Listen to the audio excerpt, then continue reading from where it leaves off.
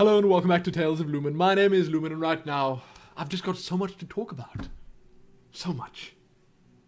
I want to start by saying thank you to each and every one of you that left comments on the previous Tales of Lumin video, the one that was titled Heart to Heart, that liked it, that favorited it, that shared it, that sent me tweets, messages, emails, and all the rest. Thank you. I mean, here I am. Probably the only YouTuber in the entire world that hasn't disabled their comments. And look what I'm getting for it. Just look. It's something else. You guys are something else. Something special in the best possible way. The amount of helpful, insightful, and just plain nice comments I got, messages I got, tweets I got, emails I got. It's off the Richter. It's absolutely cray. Thank you.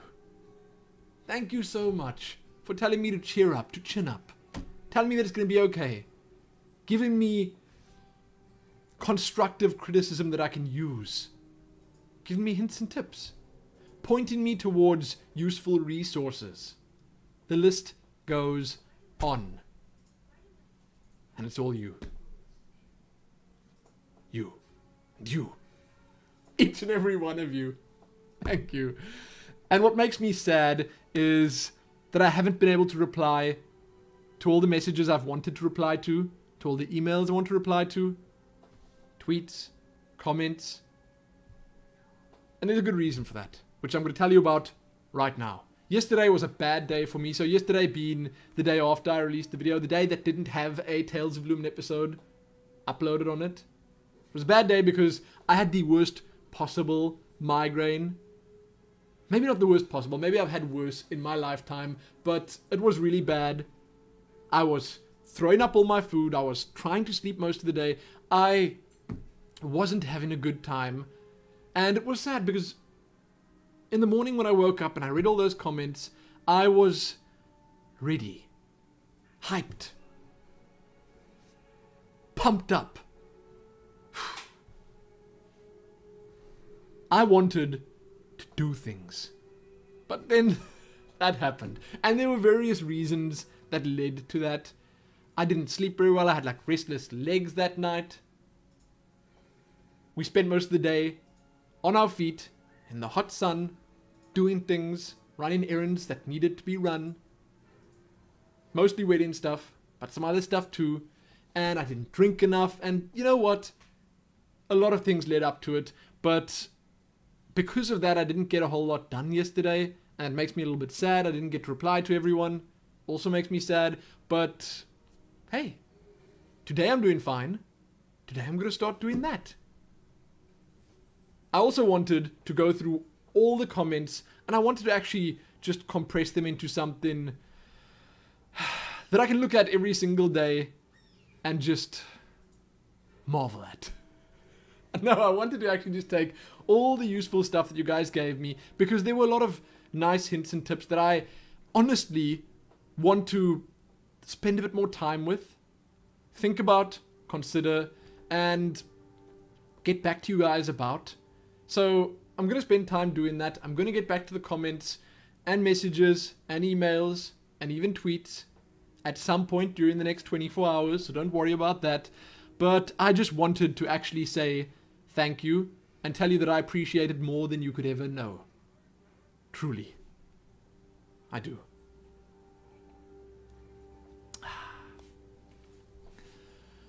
Now, we're going to move on to something much more upbeat in some ways, I guess. Reaper of Souls.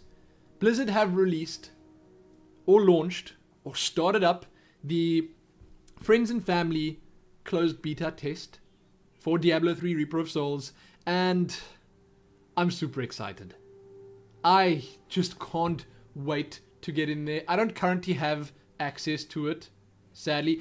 Actually, my Battle.net account just isn't working at the moment. I can't open battle.net, I can't open the launcher. I don't know what's going on. Something funky is happening with our internet. But regardless of that, I'm trying my best. I've emailed a whole bunch of people, I've messaged people.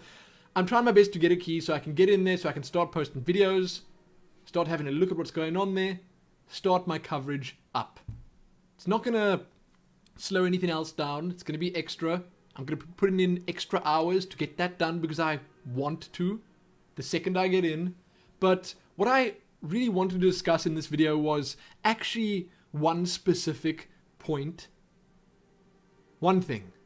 The fact that the entirety of Act 5 is available in this beta test. That's what I wanted to talk about. So firstly, Blizzard did say that the number of invites is going to be extremely limited this time around. Even during closed beta testing, there won't be a lot of people in the beta test.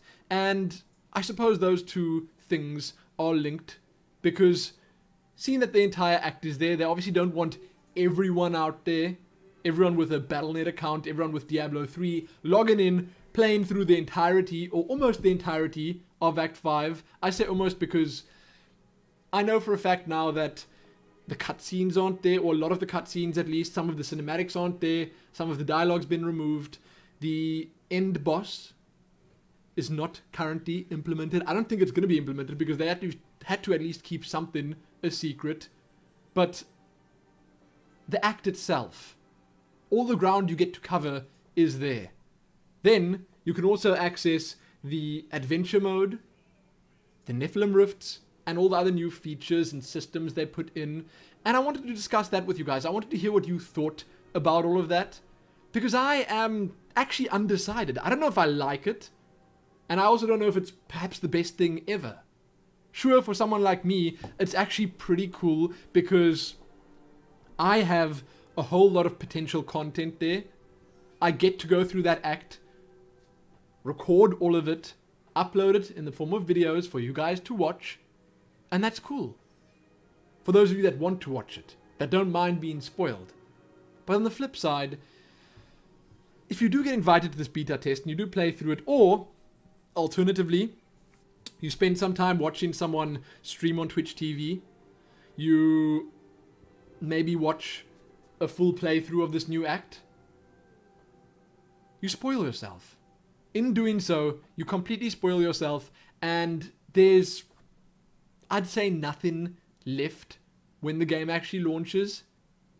But that's what I wanted to ask you guys. Do you think that they've given away or shown too much in doing so? Because if you remember what they did with the Diablo 3 beta, vanilla, they just had the start, or maybe the first third to half of the first act available for play up to Leoric the Skeleton King, and very little of the game was given away in that.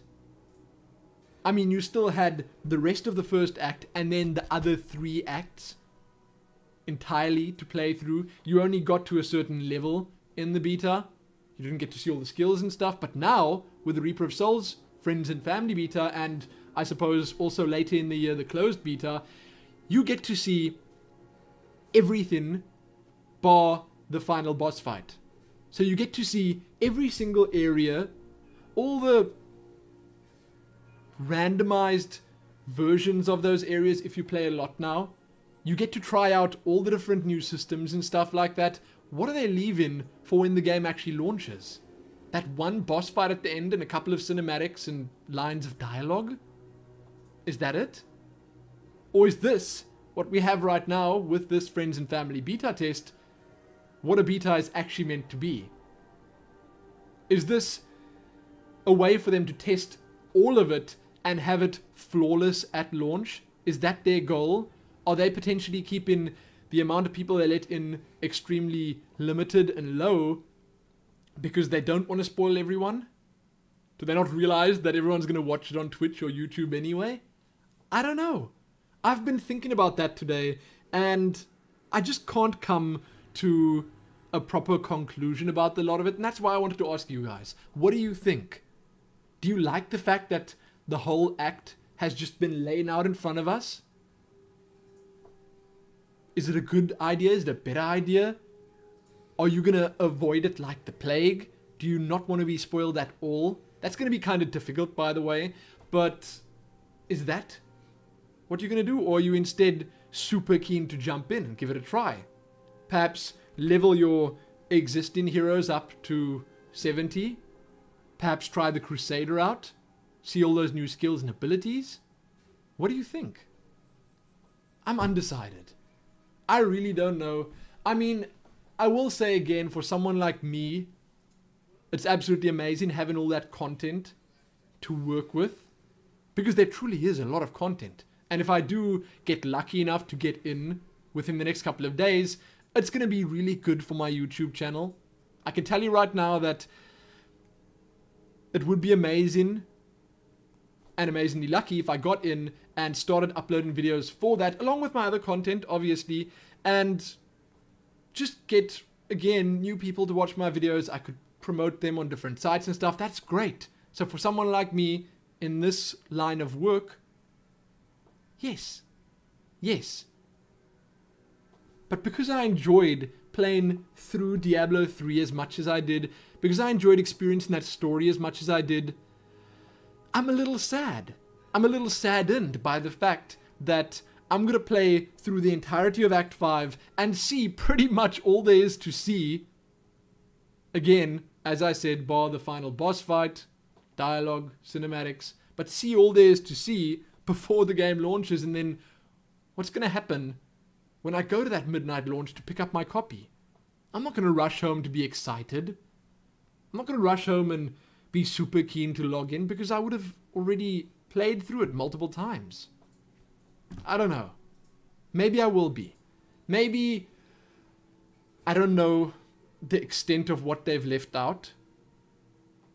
Perhaps there is still a whole lot of surprise that awaits us. We'll have to see. I will have to see, and I'm hopefully going to see soon. Hopefully going to get in there soon so I can put videos up for you guys to watch and enjoy. So I can perhaps do a one minute-ish guide on Act 5 or all the new things that were added in Reaper of Souls or something like that because you guys, a lot of you guys said that, you know, those are worth doing again. We'll see. I've got so much to talk about. I want to keep this semi-short at least. It's too late for that obviously. But I'm going to save all the other talk, perhaps for tomorrow or for another video. The talk relating to some of the input and comments I received on the heart to heart video. So chill, hold out for that. And for now, just let me know what you think of Reaper of Souls.